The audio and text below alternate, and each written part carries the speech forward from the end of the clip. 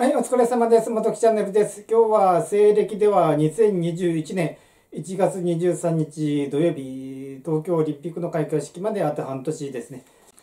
えー今日のお題は、東京オリンピックは開催されるの？ままたは東京オリパラは、えー開催されるの？みたいな感じにしようかなと思っています。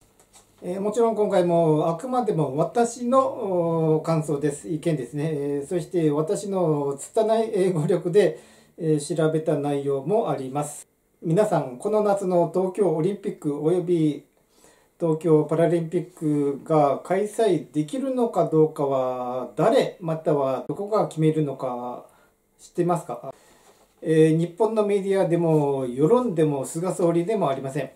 えー IOC 国際オリンピック委員会ですね。代表的にはバッハ会長かなと私は勝手に思っております。東京オリンピック開催について中止の可能性を伝える海外メディアが出てきています。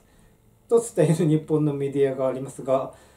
これ英語で Google 検索かけても YouTube で英語検索かけてもほぼ出てきませんで。一方英語で言えば、ウェアーズかな、 The Japan Times という英字新聞があるんですけども、IOC's トーマス・バッハあー says no プラン B、えー東京オリンピック will be held プラン B はない、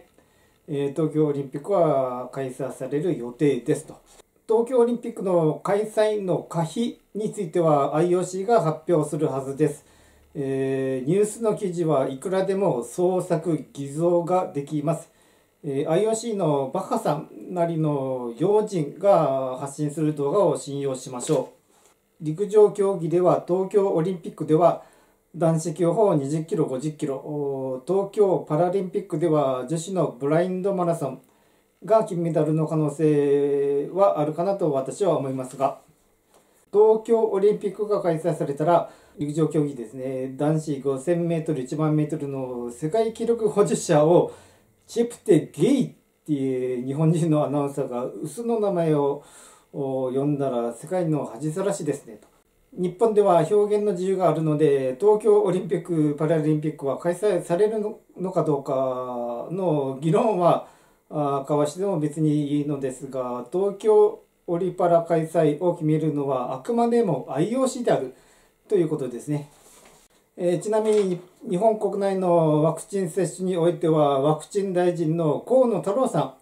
んの発信が一番信憑性があるかと思います。えー河野太郎さんは皇位継承の考えがまるでなっていませんが他は別に政治家としてはまあまあかなと私は思います。はい、以上です。